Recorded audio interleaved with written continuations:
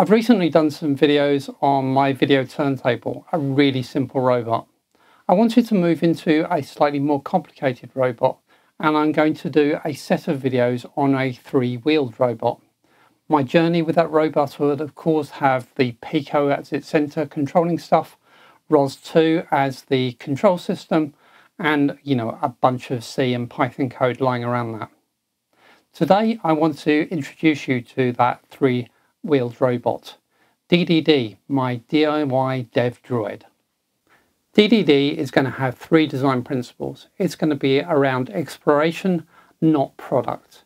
It's about research and expanding my knowledge and experience and sharing that around the ideas that might go into a future product droid or, you know, a, a robot that's going to live around my house. But right now, this is really about development, so it's all temporary work.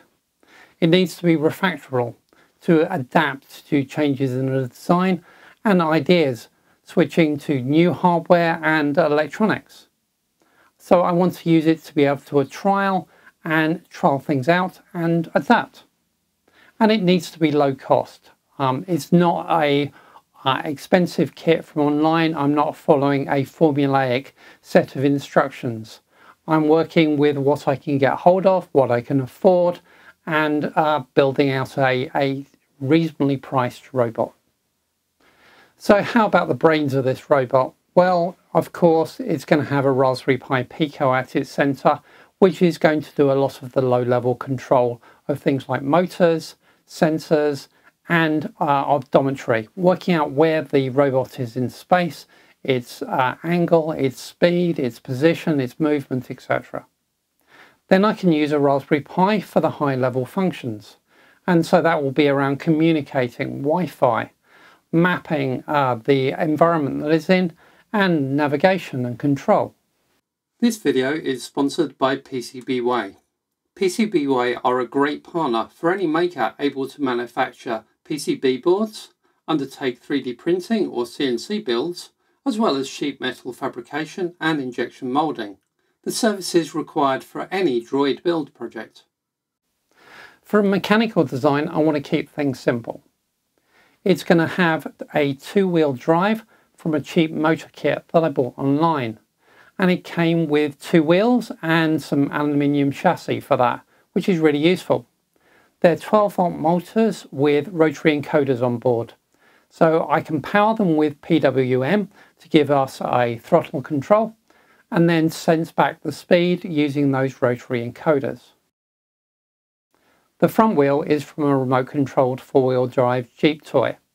It's set up as a freewheel, able to rotate to any angle as it's dragged by the rest of the robot, much like a supermarket trolley wheel.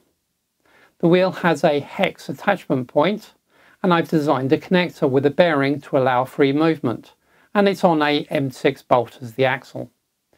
There is a bearing on the other side of the wheel as well, so it's nicely and tightly connected there.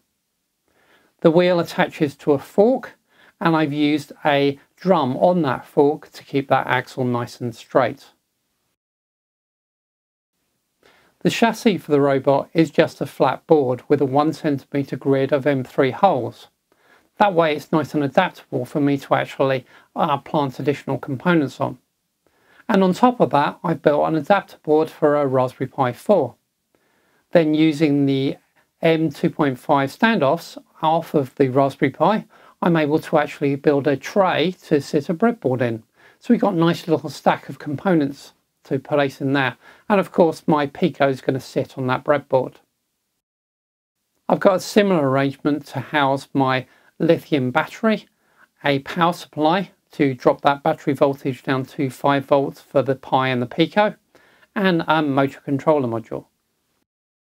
Everything I've talked about is modelled in OpenSCAD and printed using a Dremel 3D printer in PLA.